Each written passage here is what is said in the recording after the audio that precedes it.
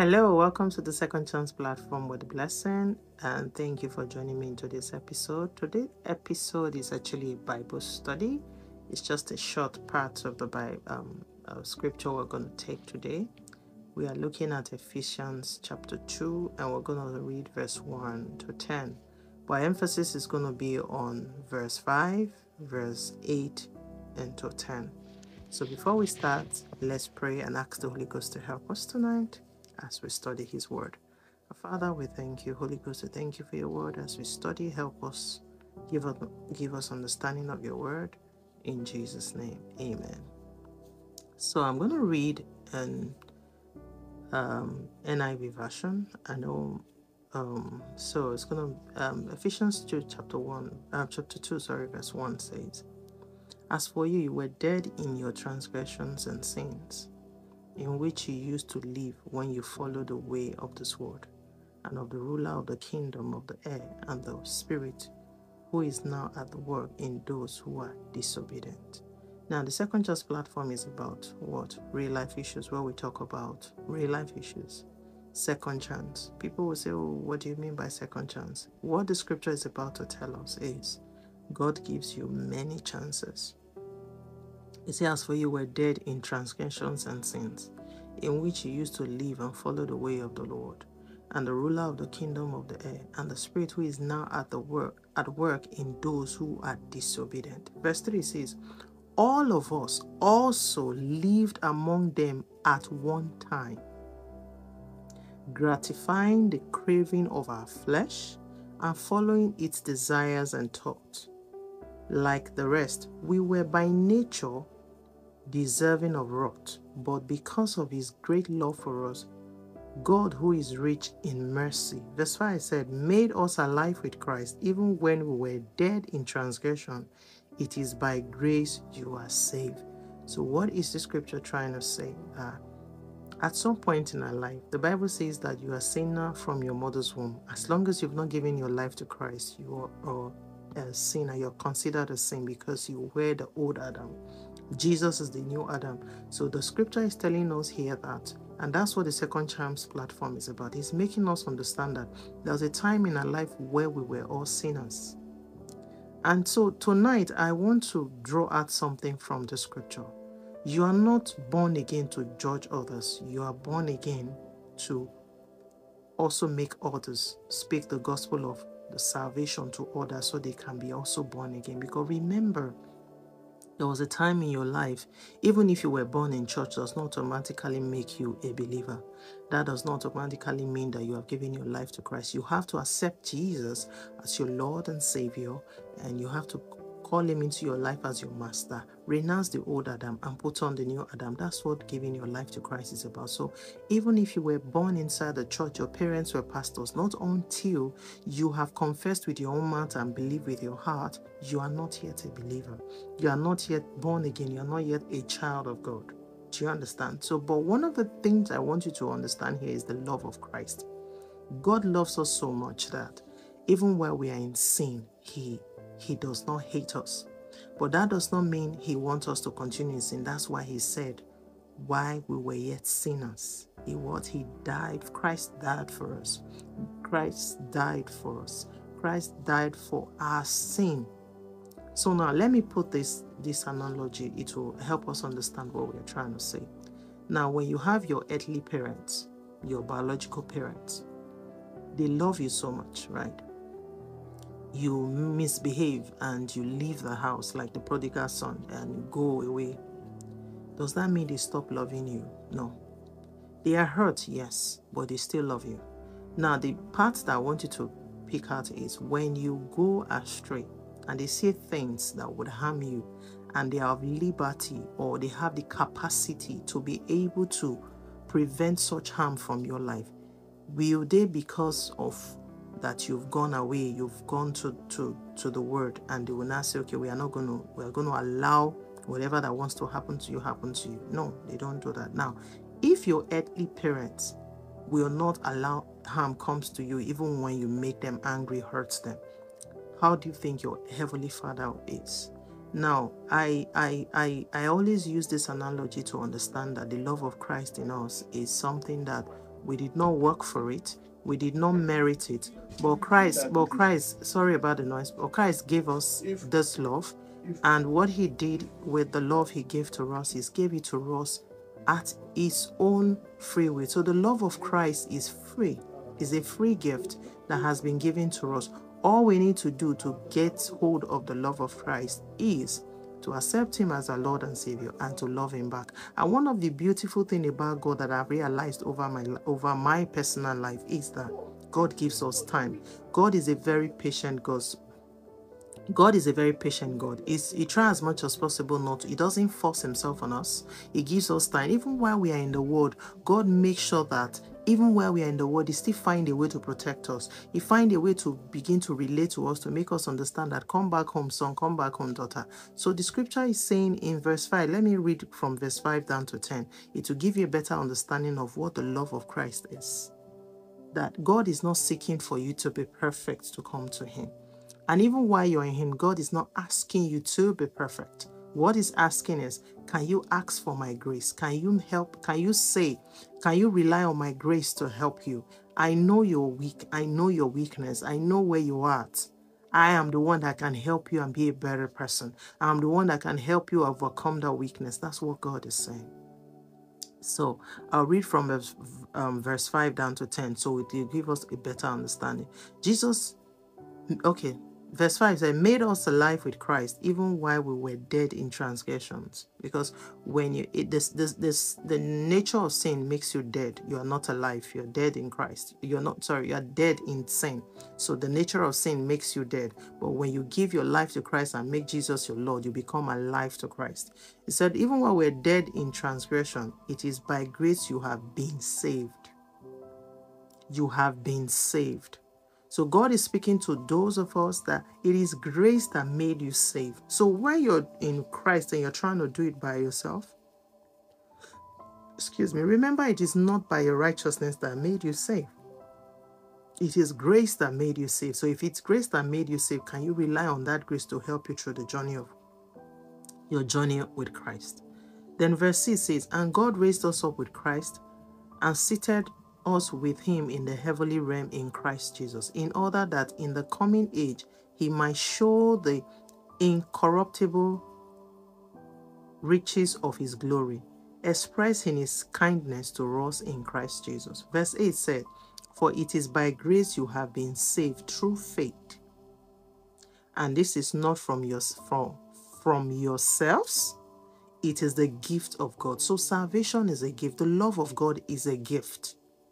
It is not by your works. It's not by really, you know, a lot of times I've noticed that religion has come into play. So a lot of people play religion. If I do it this way, if I pray 10 times a day, I'm not saying it's wrong to pray 10 times a day.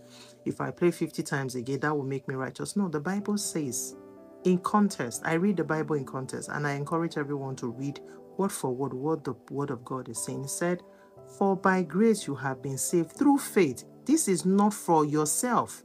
It is a gift of God. The, the salvation is a gift. You are saved by grace, not by your works, not by what you have done, not by how religious you are, not by how many times you go to church.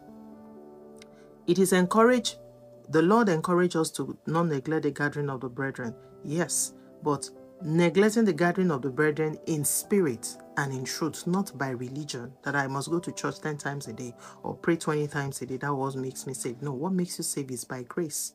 What makes you saved is accepting and loving the Jesus that has loved you first. And accepting the grace and the message of salvation. That's what makes you saved. Because it is not by your works, it is by grace. He said, not by works, so that no one can boast. You can't boast that you save yourself. It is not your works that save you. This is what the scripture is telling us. Your works cannot save you. You're praying 100 times a day cannot save you. You're doing the um the the the the, the doctrines of the church cannot save you.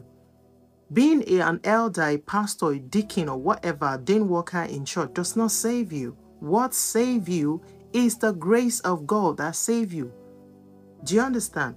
Not by works so that no one could boast, for we are God's handwork created in Christ Jesus to do good works which God prepared in advance for us to do. So you're being saved, you are being prepared So I, I, I, I say these things. I, if I can lay my hand on the scriptures, and I would have shared it with you. But if not, on the next Bible study, I will let you know. Your save, your your being saved is predestinated because God has what prepared it in advance for us. So when you're being saved, or you see someone out there that is not saved, you're like, mm, my life is better. Your life is not better. Your life is only better because grace found you.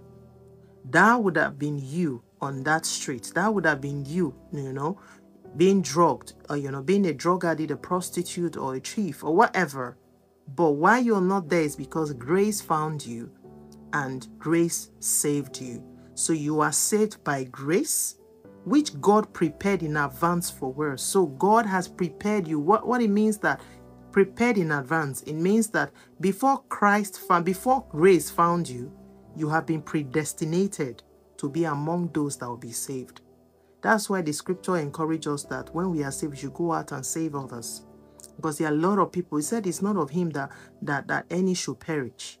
It's not of him that any should perish, but that all should come to the knowledge of Christ. And remember, the scripture says that it's not of him that will it, nor of him that runneth. It's of the Lord that showeth mercy. So it's the mercies of God that we are not consumed. So I don't know what you have been through. I don't know what you have done that you are thinking, oh, I am condemned by God. God does not condemn his own. He doesn't condemn. Maybe you've given your life to Christ before. Maybe at some point you pulled back. Or maybe you don't even know Jesus. You feel like you are too filthy to come around. Uh, you don't want, you, you, Jesus cannot accept you because you are filthy. It's not true.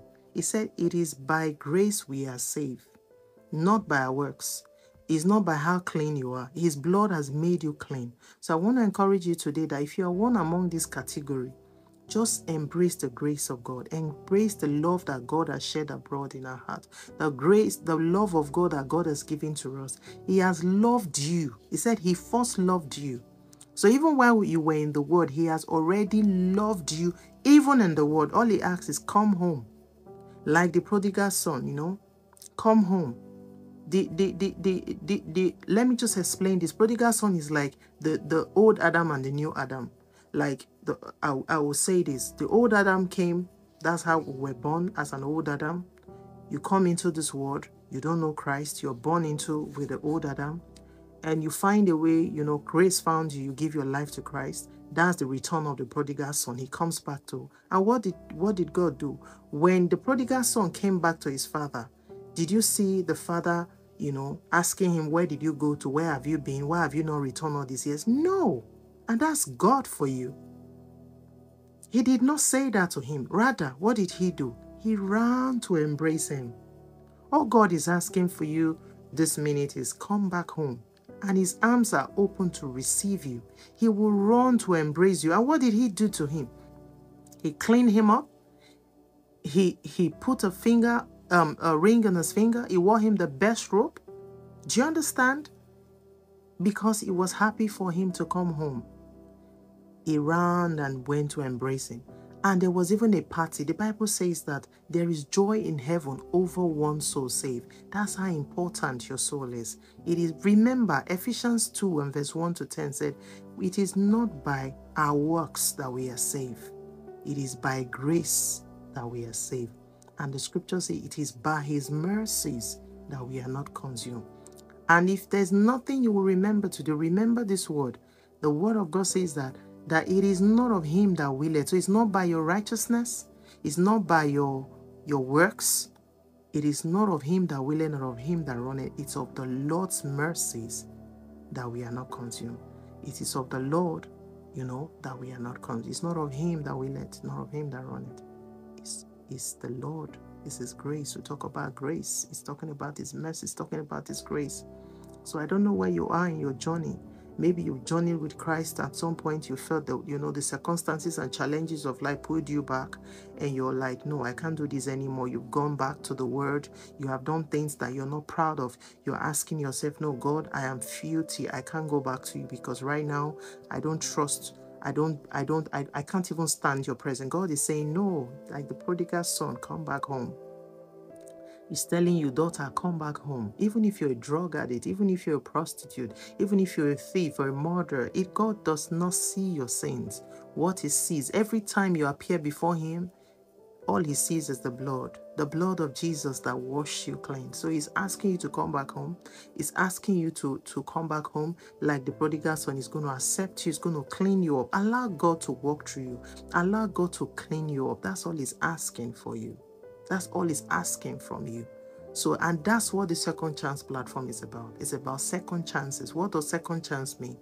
Second chance means that you have failed in life, you have done something that you're not proud of. There are things, there are parts you have, you know, some parts you've taken in life and you don't even understand what it is. You have seen that your the end does not look good and you're wondering, I can't go back. God cannot take me back. No, God gives you, offer you second chances. Or you're dealing with some sort of, you know, habit. You're dealing with some some sort of um, weakness that you're unable to come out from. You're a believer. You are still dealing with fornication. You are still dealing with with all sort of things. You're dealing with with with with weaknesses that you cannot even share. Maybe you know God is saying, "Come back. I have second chances."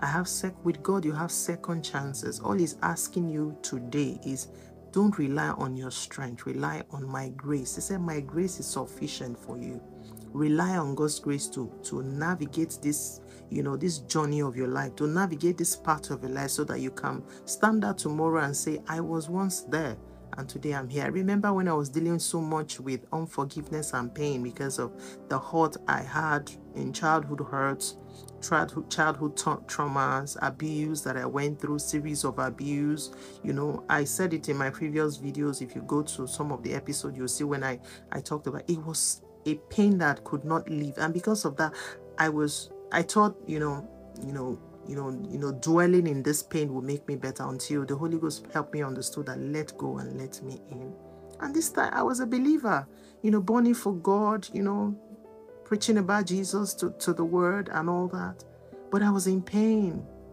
i could not let go of those those abuse those hurts and those pain until the holy ghost said to me let go and let me in and that was the word. He said, let go, let me in. Let go and let me in. So the Holy Ghost is telling you today the same thing. Let go and let him in. Let go of that hurt. Let go of that pain. Let go of that filthiness. Let him in and he's going to clean you up like the prodigal son, like the father did to the prodigal son. Let Jesus clean you up today. So if you are in that shoe, or maybe you're here, you've not given your life to Christ, I want to pray for you that the Lord will help you. Whatever that you're going through, Jesus will sort you out in the name of Jesus. Be it addiction, be it frustration, be it you've gone to the wrong path and you don't know how to get your way back. I speak grace into your life in the name of Jesus. Let Jesus sort you out. By the blood of Jesus and in the authority in the name of Jesus, I break the hold of Satan over your life. In the name of Jesus, I speak peace into your spirit. I speak peace into your mind. I speak peace into your body. In the name of Jesus, I speak peace into your emotions. In the name of Jesus, I pray for you today. In any way you have you have gone astray and you are trusting God to come back, or you don't even know how to come back, I ask that the Holy Ghost will help you. The grace of God will find you in the name of Jesus and pull you back to Him. That grace to overcome is released upon you today. In Jesus' name we pray. And if you're here, you've not, you don't know Jesus, I pray for you today. And say this word with me and say, Lord Jesus, I come to you today as my Lord and Savior. Forgive me my sins and be my personal Lord and Savior in Jesus' name. If you say those words, I pray that the Lord will give you grace to continue in His path. You will not go astray, you will not fall, you will not falter. The grace and the mercies of God will speak over you. In Jesus' name, amen. It's that simple to give your life to Christ. It's not hard. All you need to do is just say those few words I said earlier, and boom, you are now a child of God. And if you said those words, please look for any Bible believing church around you. And maybe you're aware you cannot um, have access to church. Please, as long, as long as you have access to the internet, please go on Google and search for the Bible and begin to read up on, you know, on the Word of God. And the Lord, the Holy Ghost will help you, you know, to to to understand what you're reading. You can search some of the new new convert messages on youtube. There are a lot of beautiful stuff there you can use. Please use that and you know and begin to listen to the word of god and god will help you through it in jesus name. Amen. So thank you for joining me today. I hope to see you next week. On the same time remember god loves you and jesus is still proud of who you are god bless you and have a lovely weekend. Bye for now.